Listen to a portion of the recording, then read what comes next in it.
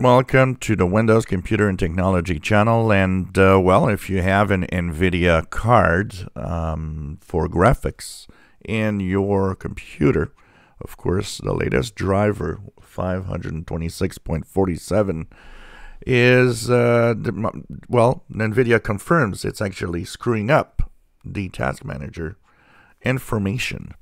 So if you are using the last, the latest uh, driver, uh, some of the information that is given in the task manager for your GPU is screwed up. And uh, they say that it is something they know that happened. Um, so, um, and of course, they're not talking much about the uh, problems that a lot of people are having with um, the frame rates in their games and how some are kind of stuttering. Um, there will be, of course, another update for the drivers. I see a lot of comments, people saying, well, it's Windows that's a problem. No, it's not. It's NVIDIA screwing up its driver. It's really a driver problem with NVIDIA, and they need to actually uh, work to make this uh, work correctly. Has nothing to do. The majority of problems like that have nothing to do with Windows most of the time. It's really drivers that need to be optimized correctly. So, um, well, we'll see what happens um, with all of this. As you see, I've got a GeForce GTX 1660 Ti in this laptop.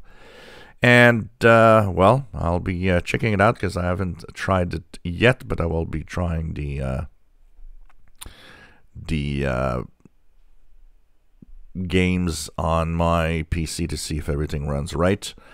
But for now, definitely there is an issue. So if you have an NVIDIA card and the uh, information is kind of weird, um, this is something that um, is a known issue for NVIDIA itself. So um, basically, we'll see what happens with that.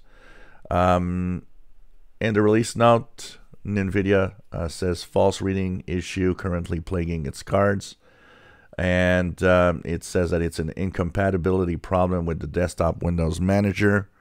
So uh, they do have a workaround if you do want to try it, but of course there will be a update to uh, the uh, driver eventually to uh, have this working correctly.